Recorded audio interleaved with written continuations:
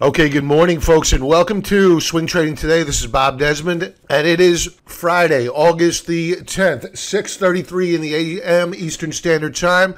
Let's begin with the NASDAQ Composite four-hour chart, pre-market activity, and we are down sharply in the pre-market. Now, we have struggled over the past several days. You may be saying, oh, no, struggle. It's been doing pretty good. Well, in terms of struggling, what I mean is that we have been unable to take out the highs of the 25th of July. And now we are breaking down below key support, or have broken down below key support, whether it be this diagonal lower band of the rising uptrend channel, or if you want to use as your support measure, this support level here at 7,442 on the Nasdaq. Now, before I get off into the charts of the S&P 500, gold, the dollar, etc., let's talk first about the agenda for today. A little bit of chatter about the economic data that was released yesterday and what is expected to be released this morning. Then we're going to go over the pre-market activity, then segue into members stock chart request and some watch stocks.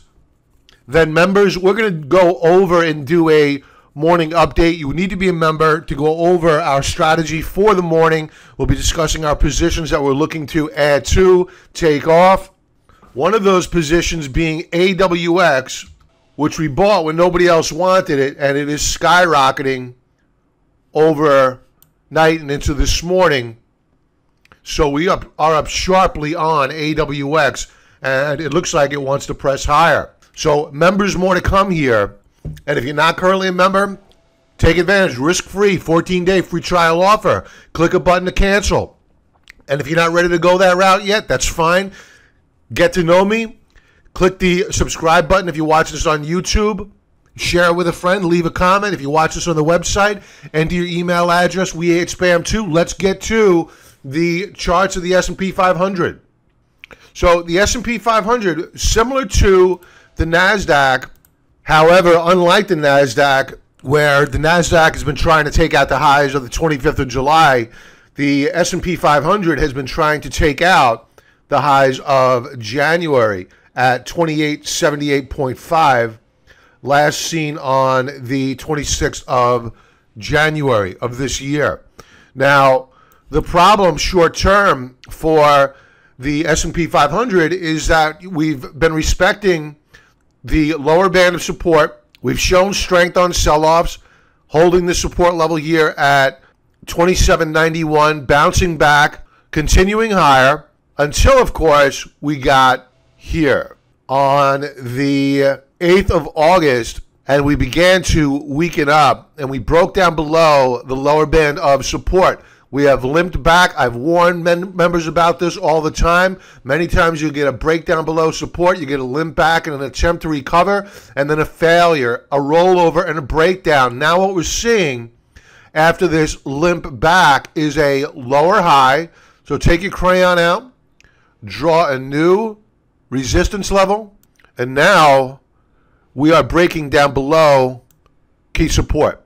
So this is a problem in the short term anyway. At current, we have the S&P in the pre-market down around 12 and a quarter points. And you can see here, we are down below support after putting in a double top. But this is a four-hour chart, right? So we could bounce back. It's very short term, very volatile. By no stretch of the imagination, you go dumping shares out of your 401k mutual funds. However, what we'll be going over with members on the week ahead commentary is a look and how the Nasdaq, the S&P 500, multiple sectors are setting up not on just a daily view, but on a weekly view as we discuss strategy over the weekend.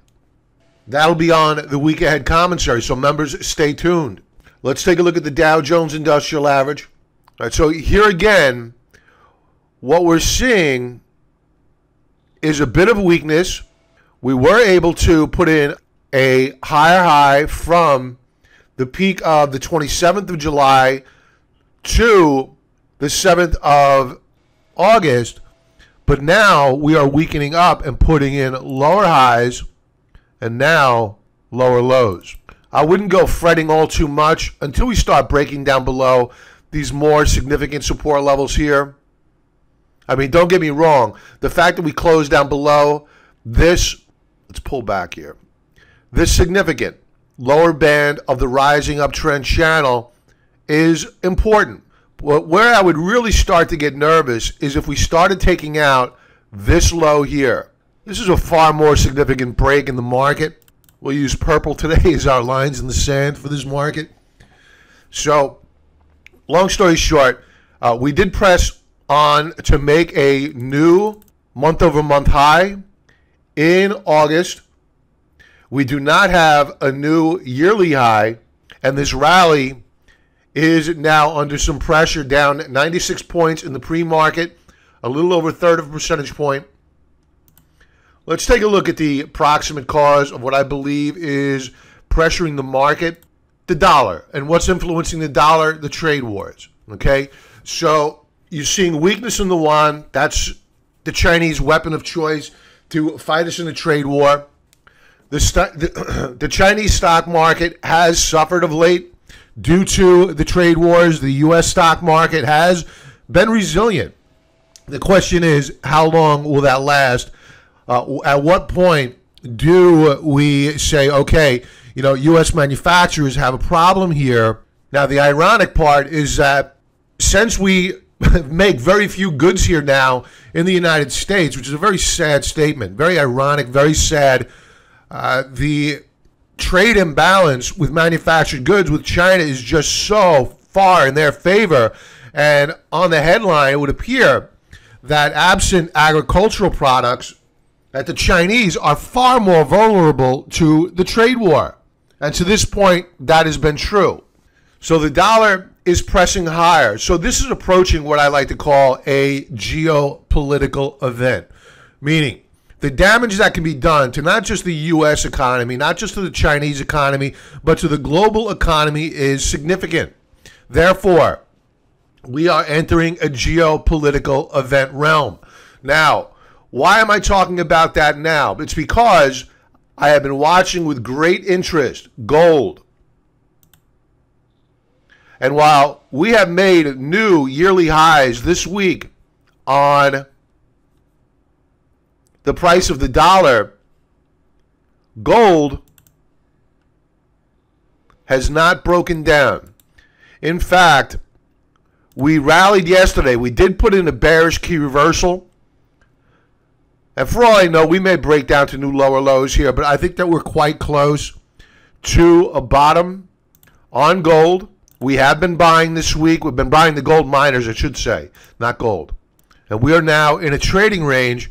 Uh, does the support level hold here? I don't know. But we are off the lows of the session as the dollar comes off the highs. Now, why am I talking about gold and the dollar as if they could trade in tandem? It's because they can. When? Only during times of great geopolitical stress. And traders perceive the US dollar and gold as a safe haven, much as what you saw back in 2015 during the Brexit vote. Go back to a chart, June 2015, overlay the dollar versus gold. You'll see that they were rallying together. Why? One word fear. We should also note on this chart that gold has broken out. You wouldn't believe it, but it has right here. On this four hour chart, we broke out on the 8th, pulled back, did a retest. We're now pulling back yet again to retest the support level. Let's see whether or not it holds. If the dollar fades, or if we have a headline news come across that is damaging to the markets and is as a result of the trade wars, you could expect the two to rally together. Now, keep in mind that at 8:30 a.m. Eastern Standard Time, we get the CPI, the Consumer Price Index. That's the measure of inflation at the consumer level. Yesterday, we had the PPI, that's the Producer Price Index. That's the level of inflation at the producer level, and it came in at half of what was expected, which allowed for gold to rally. Now, that may seem counterintuitive doesn't gold do better during times of inflation? Yes. When the Federal Reserve is behind the curve in terms of real interest rates and you have rising inflation and a lagging economy, yes, gold rallies. But when you have a miss on uh, PPI and perhaps today on CPI, if you get a miss, it takes the pressure off the Federal Reserve to have to raise rates aggressively. And the thought process there is that allows gold to rally. Let's take a look at the bond market this morning. The 10 year Treasury note is just simply ripping through the ceiling. That means that yields are declining. Now, we have to go back to our GDP numbers of only a few days ago, where we had Q2 GDP come out with a 4.1 read. My commentary on that report is that we pulled growth forward and that we probably would not repeat it. And I think that the bond market is now validating that opinion with the 10 year yield pulling back as the 10 year bond rallies. Let's watch out for that CPI number at 8:30 this morning Eastern Standard Time. Okay, let's kick our uh, watch stocks and our member stock chart request off with uh, first off, tomorrow being Saturday, that is when I send out best stock charts for the next trading week. If you want that video analysis sent to your inbox, simply enter your email address on the website, anywhere. And of course, you, you should get harassed into entering your email address if you're trying to leave the website by a pop up box. You can enter your email address there. Trust me, you'll not be spammed. And you will get best stock charts for the coming week. All right, let's get to it. Shoe, S H O O, Steve Madden. I've spoken about this one several times in the past. We bought it earlier in the week. We booked profits yesterday. Why? It's because the market started to weaken up and Steve Madden was not holding its gains. It started to sell off. So, what I read into that is that you had some profit takers above, and I was going to be one of them because if the market weakens up as it's doing this morning, in all probability, you're going to get a chart that looks like Nu Skin, which I'm going to go over in a moment, where we had a topping tail and we pull back. And we'll look to buy back in on that pullback. But right now, I'm not in love with uh, Steve Madden. I love the breakout. I love the retest. I'm not loving yesterday's price action. It's a bit of a concern. Volume could have been better. The other indicators still look good. I like Steve Madden for the long term. So it remains a watch. Remember stock chart request Alibaba. All right, so weekly chart here. There's not much to talk about except for one thing. Stay away. Or actually two. shorted on a new weekly low. Because Alibaba is probably going considerably lower. Now, here's the fly in the ointment. In all probability, the price action on Alibaba is due to the trade wars. So if you get a headline report that comes across that there's going to be some resolution to these trade wars, if you're short, you're going to have your head ripped off. So I would stay small with that short. But we have flashed a lower high Prior high 211.70, new lower high 198.35. We had broken out above this upper band of a bull flag formation. That's what this formation is here. A strong continuation breakout back here during the week of May the 7th. Rallied. That rally has failed. And we are now trading back down to within this trading range. So, what normally happens when you get a breakout point failure or a bull trap whatever you want to call it, call it cupcakes. It doesn't matter. This is a failure.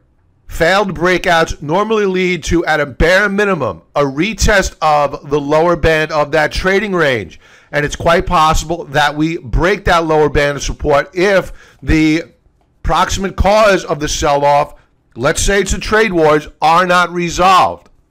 The technicals on Alibaba are very bad right now, and they continue to weaken with both lines on Stokes clearly down below the 50 level and declining further on big, big down volume, folks. This is not mom and pop selling 100 shares. These are institutions. Do not fight them. So be careful here. It doesn't mean we can't have a counter trend rally on Alibaba, and I still love the company, but right now there are there are bigger forces at play influencing the shares. You need to stay away or look to the short side. Amazon. Tell two stories, right? You have Alibaba declining in Amazon at new all time highs. And I, I spoke about Amazon a couple of uh, days ago, a few days ago, and I said that we're going to $2,000 per share. I still think that we are. Why? It's because traders are OCD, obsessive compulsive disorder. They see that big round number, they want to touch it. So it's like a self fulfilling prophecy. Should it be at $2,000 per share? Who knows? So, despite how childish it is to use as your game plan or your rationale for being long of Amazon the fact that it's going to touch $2,000 per share, however childish it may be, it's probably accurate. You have Stokes, which are rising. Volume is rising sequentially. Yesterday was above average volume. I will say this is that we did sell off the highs of the day yesterday. So you did see some profit taking. So it may not be a straight shot to the 2000 mark, but I think before we break the bull trend that we're seeing right now, we will touch that $2,000 mark come hella high water. GOS, Canada Goose Holdings, we booked profits on GOS a while ago back here, and thank goodness that we did. We have a double top, and now we have a confirmation breakdown. This is a broken stock, folks. So if you're thinking that you're going to buy the dip here, I would caution against it. Why? It's because, as I mentioned, we have a double top. Prior high 68.75, new lower high 64.95. The pullback off of the all-time high was to 56.58. We have now closed down below that level and did so significantly in all probability, what's going to happen here is that we're going to come back down here and fill this gap, which opened up here on the 15th of June. We'll revisit it at that level or on a retest of $42 per share. Until that point in time, I would avoid. We have big volume bars here, folks. Again, institutional distribution. Do not fight these guys. This is not mom and pop selling 100 shares. Let the shares settle out where they will. Then we'll revisit. Nu Skin. All right, so these shares popped higher, opening up a gap on the 3rd of August. We have pulled back off the highs. We retested support at $81 per share. What I want to do here is draw our line in the sand for as to where we would want to see the shares trade were we to buy the shares aggressively. And it's as simple as a dotted blue line. And there you have it. Okay, we want to see the shares trade either at the lower band of support here, retesting the $81 per share level to scratch the itch, open up a small position. Then we want to add more aggressively on a close outside and above this upper band of resistance. If the market holds up here, I think it's quite possible that we get a breakout here on Nu Skin. Down volume was light yesterday. That's a good sign. So Nu Skin, we remain bullish on until, of course, the shares break. If they break support and close down below $81 per share, we go neutral. Netflix, daily chart, uh, I was hoping after earnings back here that we would get a rally up to 400 to 410 per share. I believe that was my target. We never got it. All we've seen is weakness, and the reason why I wanted it to rally up to that uh, 410 level was to short it, to short it to strength. We haven't had the opportunity. It's just remained weak. It looks weak. We're broken out of the upper band of this downtrend channel. Might we rally? Sure. But if the NASDAQ weakens up here further, we'll be looking to open up a short position on Netflix. Best Buy. We broke out on a weekly chart. It appears as though we may close above this upper band of resistance. This is what we've been, watching for. Daily chart. Daily chart is pressing higher. We are kissing the third standard deviation Bollinger Band. Expect a pullback here. I like Best Buy. We'll be looking to open up a position on Best Buy perhaps as soon as today or perhaps early next week. Okay, members, let's segue over into a brief morning update. We'll discuss the higher level view of the markets, a strategy, and what we're going to do with our current positions. Let's get to it. Okay, folks, so let's begin with the U.S. dollar. We have been watching the U.S. dollar with great interest. The strength in the U.S. dollar is being caused primarily due to uh, a safe haven, a flight to safety. You're seeing the same with a rush into our bonds, which is pushing interest rates lower. Now, the last time we spoke about the RSI on the dollar bull ETF, we had a bearish divergence going on. That bearish divergence has now been broken.